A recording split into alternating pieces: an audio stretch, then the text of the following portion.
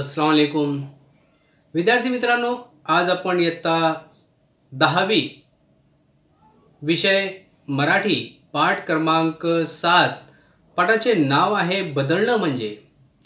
परिषद क्रमांक तीनमध्ये आपण पाहिलं की काही दिवसापूर्वी हिवाळ्या कुठल्या कुठं गायब झाला होता. आता आपण परिच्छेद क्रमांक चार व भाग चार पाहणार आहोत. केवढा मोठा बदल. पण सारं कसं आगगाडीनं रूळ बदलावा तसं सहजपणानं घडून आलेलं निसर्गता निसर्ग कसा बदलतो? यानी ये जो चेंज है, ये बदल है, ये सब बहुत ही जल्दी होता है। जिस तरीके से अगाड़ी जो है अपनी पटरियाँ बदलती है, उसी तरीके से ये सब बदल चल रहा है और निसर्ग, कुदरती कायनात, ये जो बदल है, ये कैसे एक्सेप्ट करती है, कबूल करती है? नवे नवे बदल कैसे स्वीकारतो और जो नवे नवे बदल आते हैं, वो किस तरीके से कबूल करते हैं? हिवाळा संपला की तो उन्हाळा सामावून घेतो आणि उन्हाळा गेला की तो पावसाळ्यात रंगून जातो। निसर्ग केवळ हे एवढेच बदल स्वीकारू असं नव्हे, तर त्याचबरोबर कितीतरी गोष्टी बदलतात. यानी ये जो नवे नवे बदल आते हैं, ये हम एक्सेप्ट करते हैं।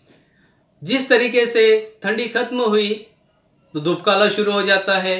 धूपकाला खत्म हुआ कि बारिश शुरू हो जाती है और बारिश, ये जो है निसर्ग के अंदर बहुत सारे चेंजेस आते हैं, बदलाव आते हैं। ये कैसे, किस तरीके से एक्सेप्ट करते हैं, उसी तरीके से बहुत सारी जो बातें हैं, वो बदल होता है, बातों में बदल होता है। पावसाळ्यात धरणीतून कोवडे अंकुर, डोलू लागतात। और जब बारिश गिरती है, बारिश होती है, धरनी, यानी ज़मीन ज़मीन से जो है कौले, अंकुर, कोम जो है बाहर निकलते हैं और वो जो है फूल, पत्ते, उसे फूटते हैं। झाडावर फुलं हसू लागतात और बारिश की वजह से जो दरख्त होते हैं उसके ऊपर फूल लगते हैं और वो खिलते हैं।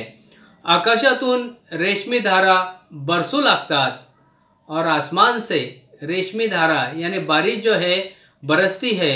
विजांचा कड़कड़ाहट हो तो यानी ये जो है, बिजलियाँ भी और बादल गरजते हैं, बिजलियाँ होती है।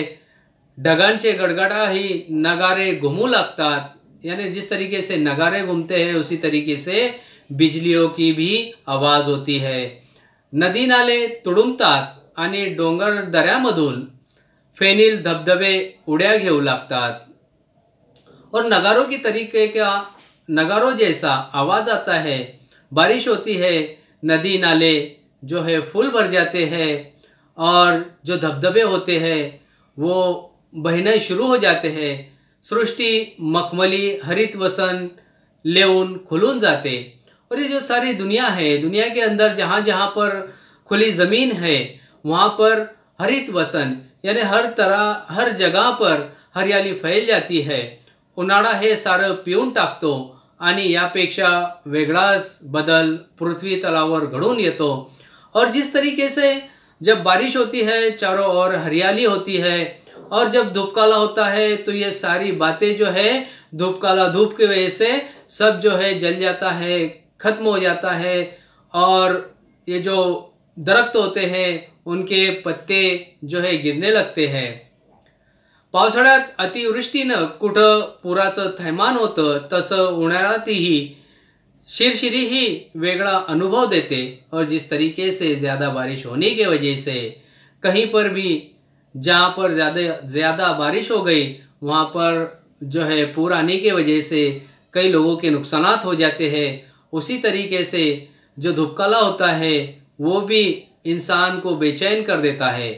एक झालं की दुसरं, मग तिसरं, नंतर आणखी पुढचं सतत नवे नवे बदल, नवं वातावरण सारं सहजपणानं घडत राहणारं.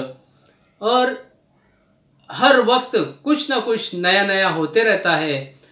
एक खत्म हुआ, दूसरा दूसरा खत्म हुआ, तीसरा, यानी हमेशा, सतत हमेशा कुछ ना कुछ नया नया होते रहता है। यानी बारिश खत्म हुई, धूपकाला धूपकाला खत्म हुआ ठंड काला ये क्रम चालू है। ये निसर्गता क्रम शुरू रहता है और शुरू रहने वाला है। प्यारे बच्चों, हम यहाँ पर रुकते हैं। अल्लाह हाफिज़।